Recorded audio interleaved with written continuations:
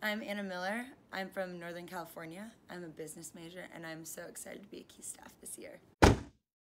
My favorite things to do in the outdoors are backpacking and pretty much jumping into any body of water. My fun fact is that I actually have an extra spleen.